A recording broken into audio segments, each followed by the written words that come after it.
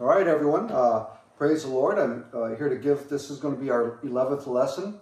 Uh, and I had told you yesterday that I would be um, talking in reference to uh, the invisible uh, Spirit of God. And so we're going to go through that, uh, see how far we get today.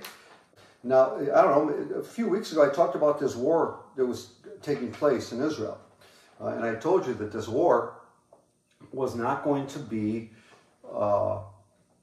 World War III. The Bible talks about these wars coming, right? Uh, it even forewarns us that uh, you're going to have wars, rumors of wars. All these things are going to be taking place, and that this uh, particular war, I believe, uh, is going to lead to uh, what we call a peace treaty, and that peace treaty uh, is going to be um, ushered in by biblically uh, by the uh, Antichrist. That's what the Bible says.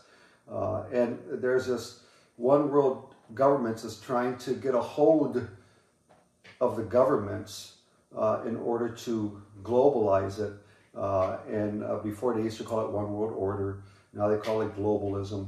and they're trying to, they believe by this process, they could bring, you know, a utopia or harmony to the world. But what we find is when we give that kind of power to uh, certain individuals, um, they become tyrants. Uh, it, it, doesn't end up being like like we would like it to be. Um, uh, evil has a stronghold and control of our sinful desires uh, and is able to tempt us and uh, motivate us to do things that normally, when we do them, we can't believe that it's us doing it. And so uh, Christ came to break that bondage and set us free. But God's purpose is not to make a utopia right now on earth.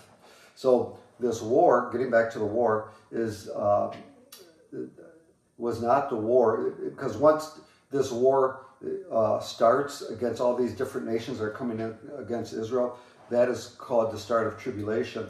And so, therefore, uh, uh, prior to that, there has to be a peace treaty that's going to be signed.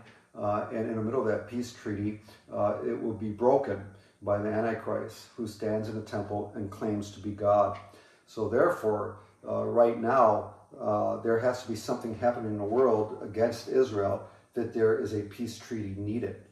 And so we find that's what's taking place. Now, I told you this prior to the war, um, uh, before all this uh, stuff started. Uh, and now you can see many weeks later, uh, it's calmed down and it looks like uh, things are going to go as scripted in the Word of God. Okay? Uh, okay, so let's get to our lesson here. I, am pretty excited about it. I want to talk about the seven invisible spirits of God. Uh, and we are going to start in Romans 1 19 through 20. Again, I want to reiterate when I'm reading, I'm not going to tell you out of what version. There's only two versions. I read from uh, King James or NIV, uh, and if it's the Amplified version, I will notify you uh, of that. So I'm not going to notify you, you're simply going to know by the V's and W's and, and so on, okay? All right, God is so good just pray for God's blessing on this lesson. Lord, I pray that you would bless us, Lord God, as we go into this lesson. I pray that you would, would bless everyone that's listening to this, Lord God. I pray, Lord God, that we'd be able to grasp all that you're going to teach us today, Lord. I pray, Lord God, that you would utilize me as a teacher. Lord God, I'd be effective in my teaching, Lord. That I would teach truth, Lord God, and I wouldn't get off the path that, that you have me here, Lord. Pray, Jesus, that you, Lord, would bless us all, that we would all learn something Lord, you know, this excites me. I pray, Lord God, that there will be an excitement takes place as we go into this study, Lord. And I pray, Lord God, that somehow, Lord God, there be a comfort that would set in on us, Lord God, in these days that we live in, Lord God. So, Lord God, I just pray, Lord God, you would use me as a teacher. Bless us all as students, Lord God. In your mighty name of Jesus, we ask this. So, uh, uh, getting to the seven invisible spirits of God. Understand God's invisible. Okay?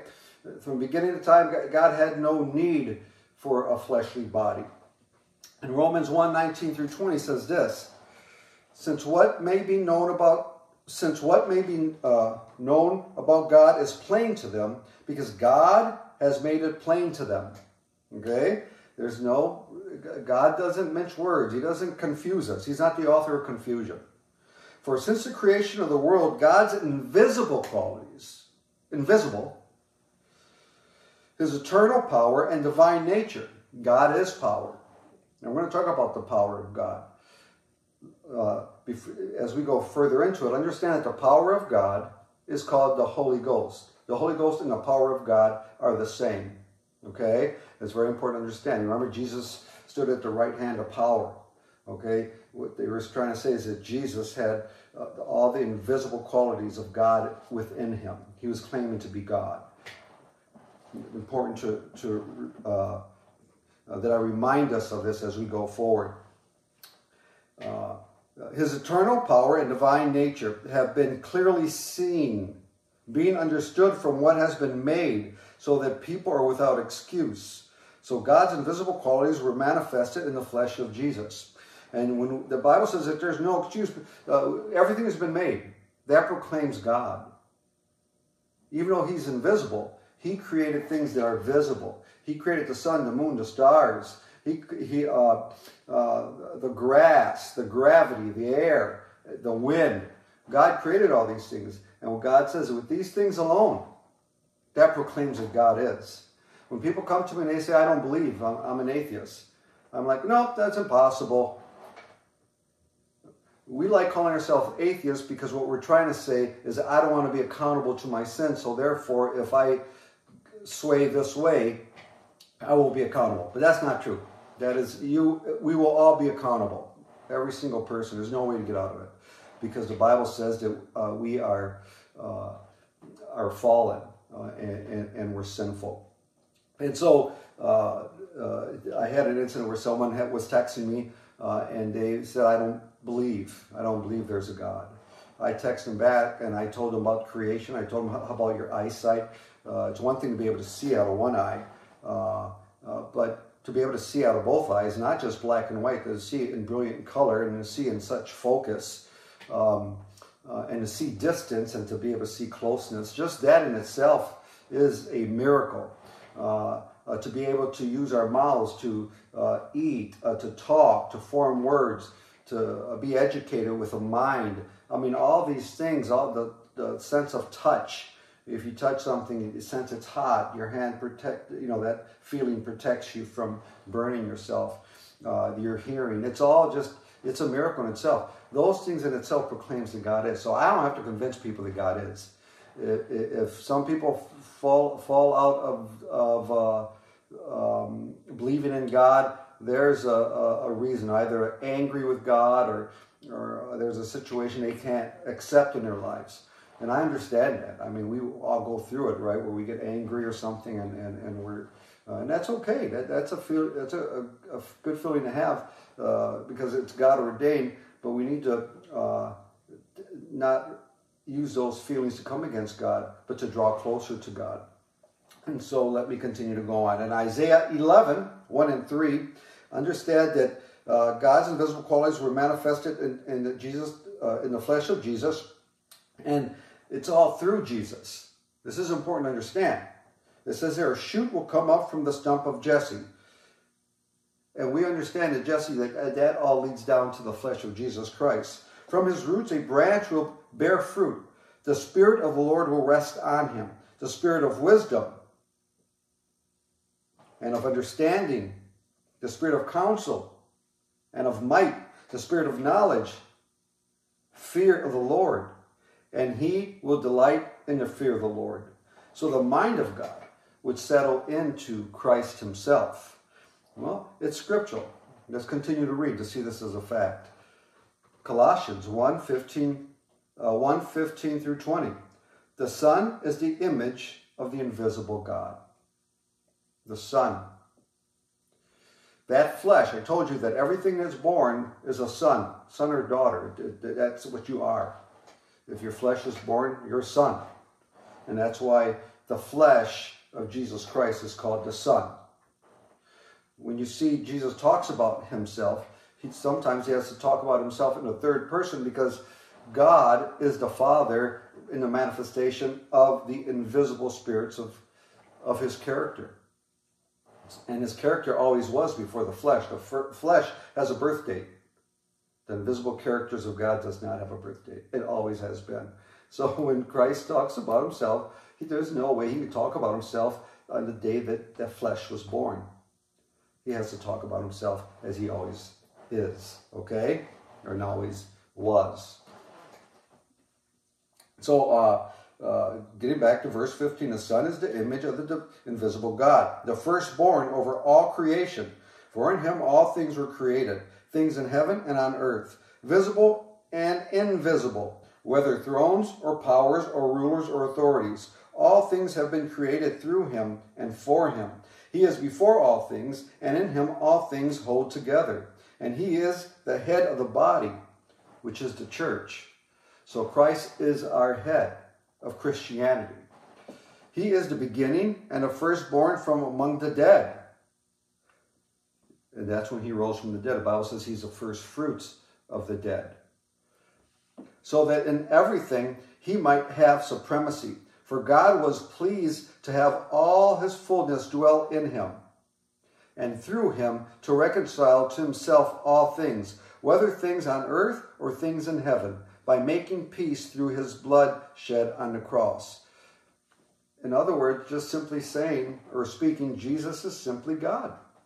The characters of this invisible spirit, uh, these seven invisible spirits, uh, uh, manifested in Christ Jesus. It's not a complicated thing to understand, but we can make it complicated. And so I'm trying to break us from that, trying to give us some foresight of truth because with this truth, when we read Revelations, the depth of understanding of the realities that we're uh, going to see when we're reading it. All right? Um, should we be afraid to read Revelation? I don't think we should be afraid. Right? Because it's, it, it, it testifies of Christ. You know, listen, Christ isn't going to have wrath on people uh, that have come, that come to him, to, to the born again believer. But the wrath is going to be on a sinful society of people that don't want God. Okay? Jesus gives a fivefold ministry uh, in the church. So here he's filled with God, with the attributes of God. And now Jesus gives a fivefold ministry to the church. In Ephesians 4 11 through 12, it says this So Christ himself gave the apostles, the prophets, the evangelists, the pastors, and teachers to equip his people for works of service, so that the body of Christ may be built up. Jesus' fivefold ministry now works through the church. So now, Jesus, he was endowed with all this, and now he passed it on to us, and now we are his hands, we are his feet, we are the temple of God. Okay? I had talked prior in reference to the Holy Ghost, importance of the Holy Ghost. When we're filled with the Spirit of God, uh, that is God, uh, God indwelling in us. And what God does when He fills us with His, death, He won't force Himself. If you don't want the Holy Ghost, listen. I sat in church where uh, people somewhat wanted the Holy Ghost, but they're a little distant yet. They didn't make their minds up. The Bible says it's a gift. God, He will fill us with it. When He fills us with the Spirit, we start to speak in a heavenly language. It's called tongues. Uh, and, uh, and God will never force that upon us. God is a gentleman. Uh, God would not he, he is not into forcing us. He's given us a choice. And so therefore, we need to receive it as a gift that God wants to give to us. Uh, and when we are filled with the Spirit, the Bible says that we are given gifts of the Spirit that we can utilize. Yes, we have the fivefold ministry, which, which is to uh, for the church to utilize for the people, right? But individually, when God fills us with the Spirit, He equips us with His nine gifts of the Spirit. Uh, in 1 Corinthians 12, 1 through 11, uh, through the infilling of the Holy Ghost, which is the invisible Spirit of God dwelling in us, right? He gives us all types of different gifts to be able to utilize the, this power here on earth. That's why we are called the temple of God. Just trying to sum it up in, you know, in, in the easiest form I possibly can. Well, let's go to 1 Corinthians 12, 1 through 11. Let's read about these gifts through the infilling of the Holy Ghost, which is the Spirit of God, which is also called, uh, uh, uh, the Holy Ghost is, is also uh, called the Comforter. Uh, he is uh, advocate. He is, all these are the same word. It's the Spirit of God. uh, through the infilling of the Holy Ghost, which is the invisible Spirit of God dwelling in us. There's no problem with that. We make it a problem when we start to divide God. There's no way to divide God. It's real simple. When we see God manifested in Jesus, and none of us have seen Jesus, the apostles did, they saw God. His invisible qualities enclosed in that flesh. Now, the Holy Ghost, now listen to me, is also God. That's the Spirit of God. And now God indwells us with His Spirit. And that's why we become His hands and His feet. And then He, he gives us instruction on how to nurture one another uh, through the fivefold ministry. And then He equips us with these gifts, then we can now grow in Christ. Once we receive the Holy Ghost, what happens is we have this healthy uh, conviction, not condemnation, but conviction that comes upon us. And a conviction helps us to clean ourselves up. Once I was an alcoholic, uh, now I, uh, I'm delivered from it. Once I was in bondage, and now I'm freed. Once I uh, had a, a, problem with pornography, but now I'm delivered from it. Uh, once I had a problem with lust, lust for money, lust for individuals, lust for things, but now I've been delivered from it. So, so uh, God not just only sets us free, but He fills us with His Spirit that He can uh, help us to grow spiritually. Because don't forget, uh, at, uh, during Adam and Eve's time, we uh, man has fallen and our uh, and we were spiritually dead in our sins, and that's what God had to give us deliverance from, and that was the whole reason behind Him dying for our sins. And now He's renewing in us a right spirit, a new spirit. And uh, what did King David say to the Lord? He said, Renew in me a right spirit, Lord God. Right? And, and so that's what is taking place here. Verse 2 You know that when you were pagan, somehow, uh, or the uh, somehow or other, you were influenced and led astray to mute idols. Therefore, I want you to know that no one who is speaking by the Spirit of God says, Jesus be cursed. And no one can say Jesus is Lord except by the Holy Spirit. So when we're filled with the Holy Spirit, it confirms to us who God is. And it's okay to explore that further. Sometimes we'll put a barricade to ourselves and we don't explore it any further. Sometimes we read and we're like, does that really means what it says? It, it, yeah, it's okay. If you're filled with God's Spirit, let God teach you.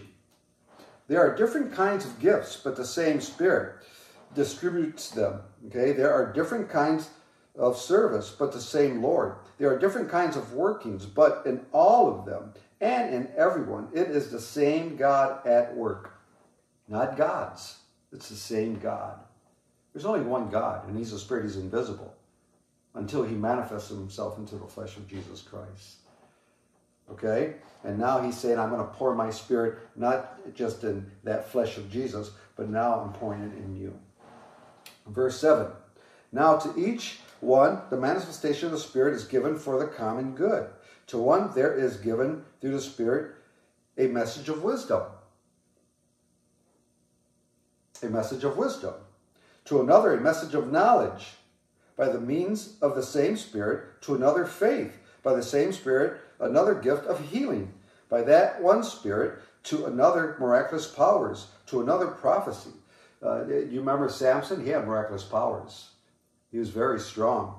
Uh, um, uh, we see that uh, in a word, uh, there was much wisdom given to certain prophets and certain uh, men and women. knowledge, faith. God talks about about the woman that, that touched his garment. And, he felt his power come from his body because of her faith. Uh, we uh, read about the healings that took place, the prophecies. To another, distinguishing between spirits, right? To be able to def- decipher, hey, uh, th- there's something wrong with that. That, that spirit uh, is not of God. Uh, to another, speaking in different kinds of languages or tongues, and to uh, still another, interpretation of tongues. Uh, and, and that's all given for the edification of the church. And so all these gifts are poured out. But I like to, you read all these different gifts, and you can probably make those outline, those nine gifts, and then you can uh, write so many different gifts right underneath them. Uh, like uh, uh my, my mom, she has the gift of hospitality. I mean, people just flock there. You know, um, they love my mom. My mom was in a hospital once. Um, I went to the house. I'm like, where's mom? She's in the, house, in the hospital. There's no one at the house. When I go to my mom's house, there was always people there. When I get to the hospital, it, the, the, hallways are full with people. And I'm like, what, what's going on here? All because my mom, she wasn't dying, but she, they had got word that she was in the hospital. So I had to squeeze through all these people. I'm thinking, what's going, uh, you know, to, to see my mom. What a gift, you know. I don't know if when I end up in a hospital, there ain't nobody in line for me. So you know, uh, uh, you know that, that that that's a real gift right there. Uh, and so, um, and so we have to be aware of these nine gifts.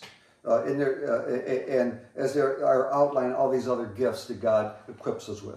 The Bible says that we receive the Holy Ghost. You have a gift. It's up to you to find out how many gifts you have and how to utilize them. It's up to you and I. God's not going to force us. You ever ask God, say, God, what is my gift? I did. I prayed. I said, Lord, everyone's got gifts but me.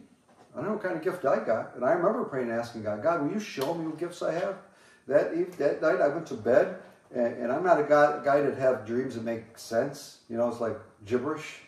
Uh, but this one made a lot of sense.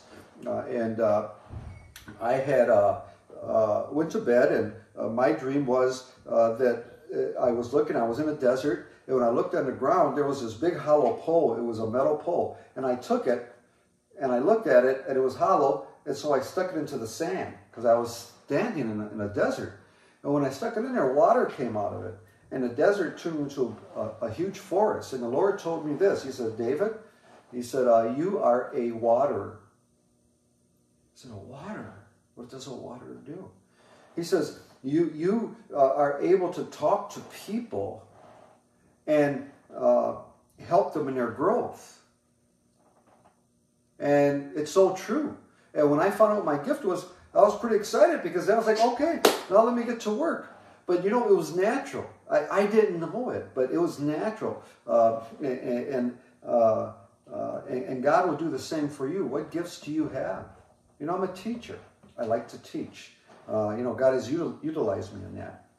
And so, um, the next phase I like to step into, knowing God as Jesus, is key to understanding the book of Revelation. I talked about this already, but I'm going to briefly take us through it uh, because we are in the process of talking about uh, the seven invisible spirits of God. Um, uh, so in Romans 120, for since the creation of the world, God's invisible qualities, his eternal power and divine nature have been clearly seen, being understood from what has been made, so that people are without excuse. And, and I had told you that uh, I like to reiterate that uh, because how truthful that is, especially when it comes to the Godhead. We don't got no excuse for not understanding who God is. You know, we'll sit there and we'll listen to a pastor, but we won't open our Bibles to confirm. You know what our pastor used to do? He says, listen, don't, don't believe what I'm telling you. Go home and read it for yourself. Study it. You know, we don't have no excuse why we don't study or we don't read the Word of God. Oh, I don't understand it. Oh, that's foolishness. What do you mean I don't understand? There are so many uh, uh, uh Bibles that have been written. You have an amplified version. I don't know. I got like I, I got to have like 10 different versions that I, I got the Wycliffe. I, I got from the oldest to, to the newest ones, and I love reading them all. Uh, uh, and there's a lot of insight into them. But my go-to Bible is the King James Version. And I love going to there to make sure that everything um, uh, pans out because sometimes uh, there are certain things that are left out. Um, uh, and there are other tools that I won't mention that I love to use. Uh, uh, that helps me with the with my understanding. But I'll, t- I'll get us back uh, into our lesson here. Colossians 2 9 says this For in him dwelleth all fullness of the Godhead bodily. Who's that? What that Jesus. Right? So the deity of the Godhead indwells in Jesus. Not complicated. John 14, 16 through 20. This is important to understand because he is also, I told you, that God is the Spirit, God is the Holy Ghost, God is the Comforter, and that is, uh, uh, he manifests that in Jesus, the, the, the Godhead of his invisible qualities, and he also manifests that in us through, through the Holy Ghost. Uh, John 14, 16 through 20 says this, And I will pray the Father, and he shall give you another comforter, that he may abide with you forever. Even the Spirit of truth. The Spirit of truth is the Holy Ghost, whom the world cannot receive because it seeth him not, neither knoweth him. But ye know him, for he dwell with you and shall be in you. That's the Spirit of God living in us. Right? The world, the people that serve the world, they don't see him. They don't get it. The only way they're going to see him or get it is through you and through me. And if we do not make ourselves known to them, if we do not minister to them, you know, we're like, oh, I'm just too shy. Well, we're not shy when we're at a Bucks game uh, and, and, there's a, you know, that, that last minute shot is made and we're just jumping up and down for joy, clapping our hands. Some people are crying. But when it comes to telling someone the truth that Jesus loves them, that Jesus died for their sin, we can't do those things? Come on. We really need to start getting some things. Listen, I told you, if this war is, with Israel is bringing a peace treaty, that's how short our time is. Mm-hmm. Yeah. No man knows the day hour, but we know the season. And I know that the season that we're in is that season right before uh, Christ calls his bride up to heaven. Uh, getting back to verse 18, I will not leave you comfortless. Uh, uh, the Comforter is the Holy Ghost. He was, I will come to you. Yet a little while, and the world seeth me no more, but ye see me, because I live, ye shall live also. At that day ye shall know that I am in my Father, and ye in me, and I in you. So Jesus claims to be God living in us. All right? God's attributes now abide in us through the infilling of the Holy Ghost, which is the Spirit of God manifested in his character in us. He doesn't condemn us, but he now gives us a healthy sense of conviction of sin.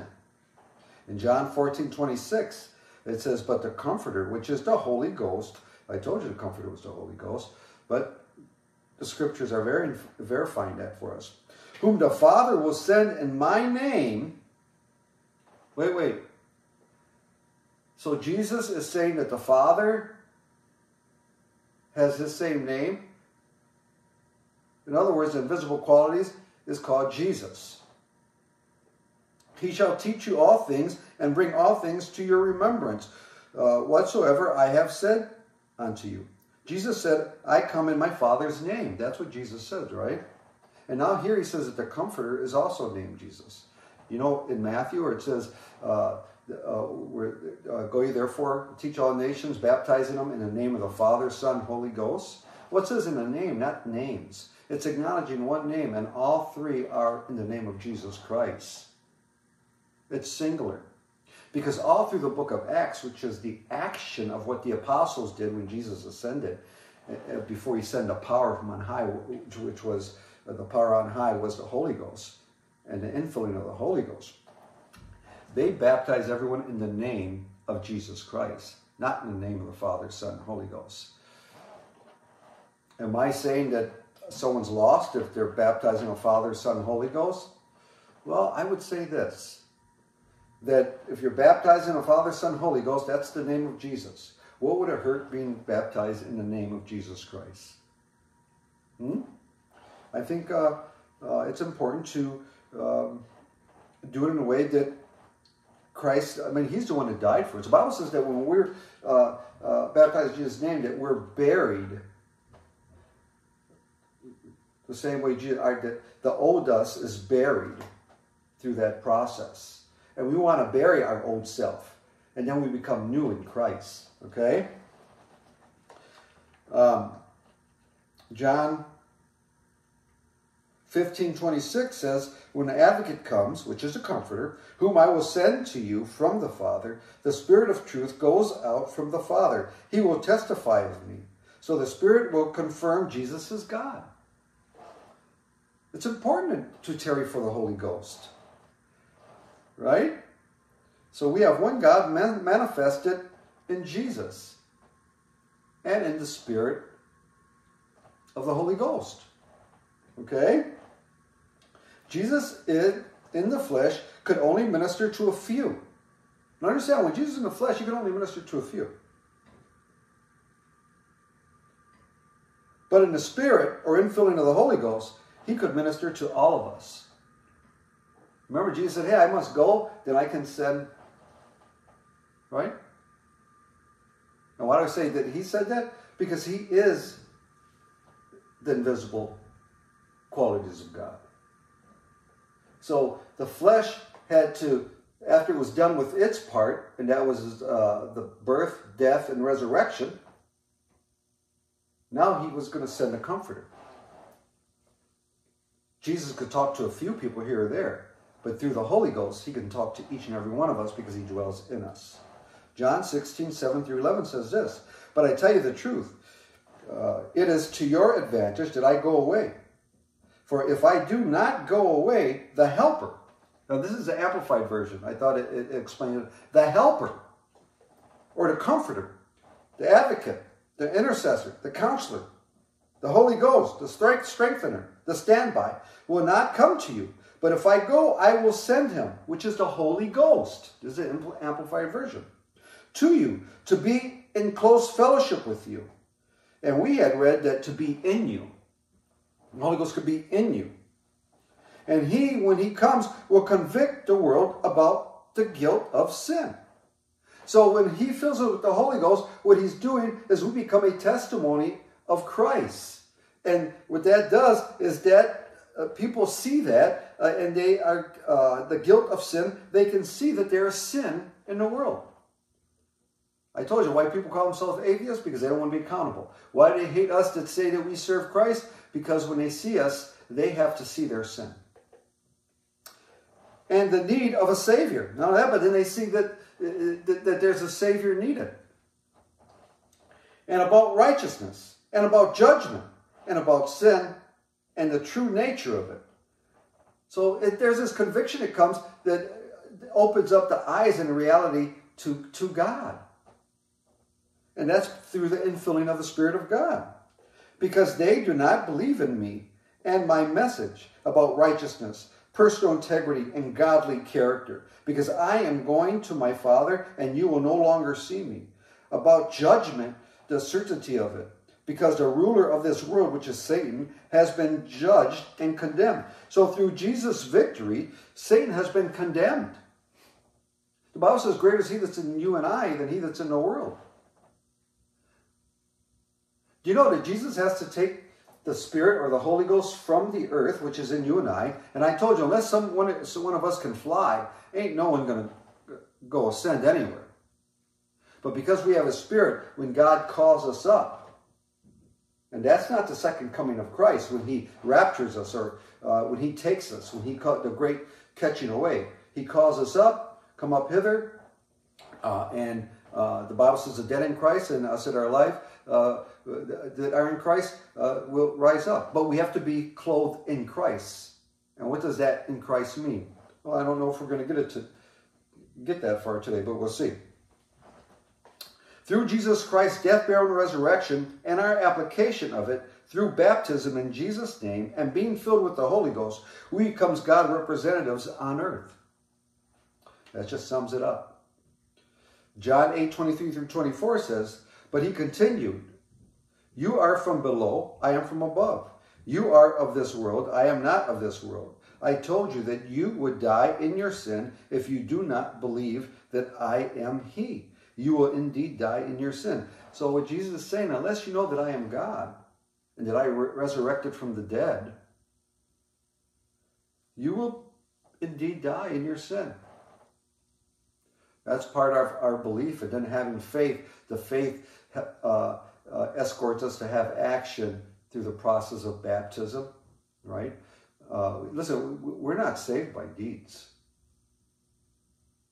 Okay, but there is a process in order to be to bury ourselves and to become new. That's why it's called the born again experience. If we do not believe that Jesus is the manifestation of God's invisible image and ascended into heaven to fill us with His Spirit, then we are doomed to our sin. Without our belief, we're doomed. We are doomed.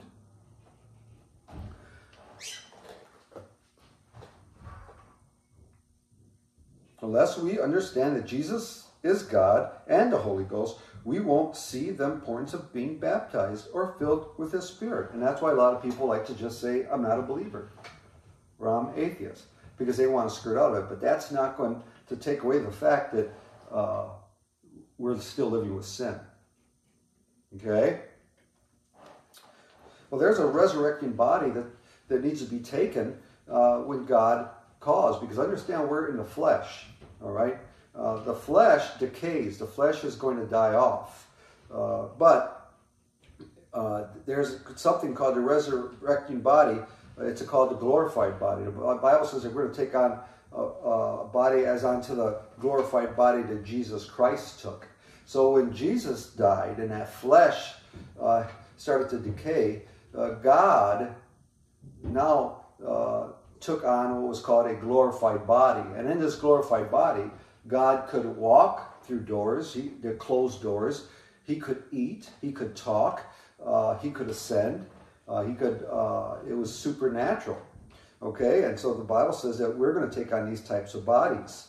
In 1 Corinthians 15, uh, verses 12 through 23, 23, it says, But if it is preached that Christ has been raised from the dead, how can some of you say that there is no resurrection of the dead? If there is no resurrection of the dead, then not even Christ has been raised. And if Christ has not been raised, our preaching is useless, and so is your faith. We just talked about that. Verse 15. More than that, we are then found to be false witnesses about God. For we have testified about God that he raised Christ from the dead, but he did not raise him if in fact the dead are not raised. Right? Because the Bible says that Christ was the first raised from the dead, but uh, uh, or the first fruit uh, that was sent that, that God sent uh, uh, sent it to heaven of the start of Christianity. Understand? Okay, of the new covenant. For if the dead are not raised, then Christ has not been raised either. And if Christ has not been raised, your faith is futile. You are still in your sins. Then those also who have fallen asleep in Christ are lost. If only for this life we have hope in Christ, we are of all people most to be pitied. If the, only good we're going to get out of it is this discussion, because once we die, we die, and we die in our sin, because there's no resurrection, then wow, that's a pity. Verse 20, but Christ has indeed been raised from the dead in fact, he's the first fruits of those who have fallen asleep. God calls death sleep. I might teach on that. Uh, um, uh, you know, the difference between death and sleep, you know, what that's all about. Uh, maybe I'll do that once the Revelation Bible study is over with. Uh, For since death came through a man, the resurrection of the dead comes also through a man. For as in Adam all die, so in Christ all will be made alive but each in turn. Christ are first fruits. Then, when he comes, those who belong to him. So, in other words, Jesus, he was the first fruits of, of the resurrected into a glorified body, right? And now the church uh, are the ones uh, that belong to him. First, we have to understand that there is a resurrected body, which is called the glorified body like the one Jesus took when he was raised from the dead. If Jesus has not been raised from the dead, then Christianity doesn't exist. The dead all sleep, but through Christ will rise again. Jesus first fruit, then us. God's explanation of, the, of this resurrecting body. I'm going to halt it right there. So uh, next week we'll get into God's explanation of the, of the resurrecting body. He talks about this body. You know, it's sort of like a seed. You ever take a grass seed? Right? It's it's dead.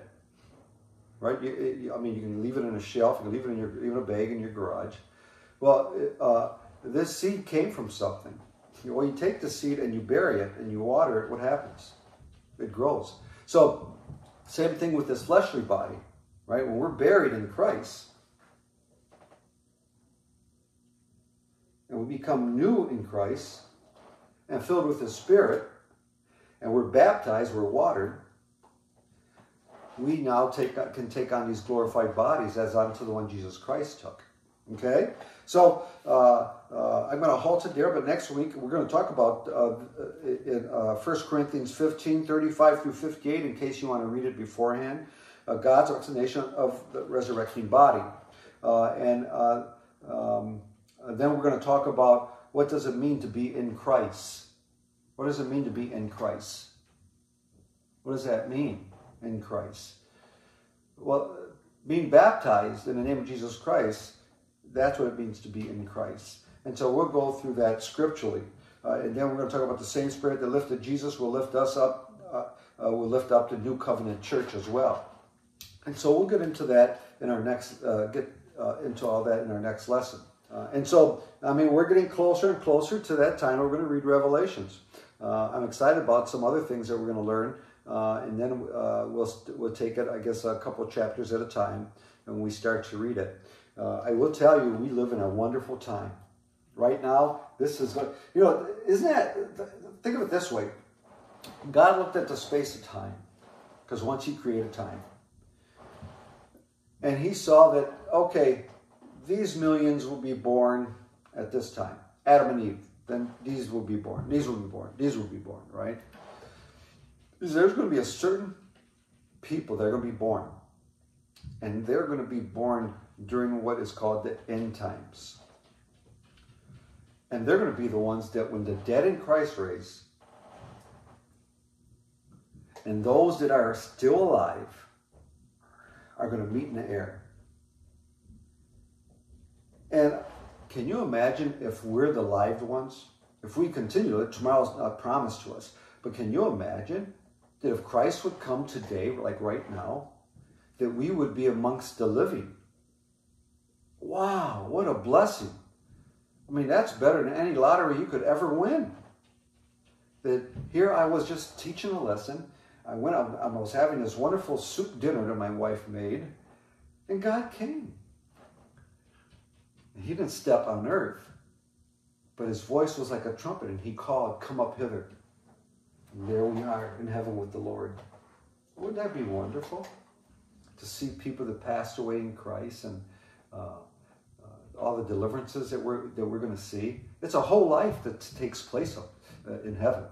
Not only that, but we're going to have access to the entire universe, not just heaven. I mean, there, listen, God's life is reality. This is just a test right now. Who's going to endure it? Who's going to love the Lord? Who's going to utilize this love that they God put in us and allow it to grow? That's our responsibility, is to allow God to let this love in us grow. So with that, thank you for joining me. And uh, until next week, God bless.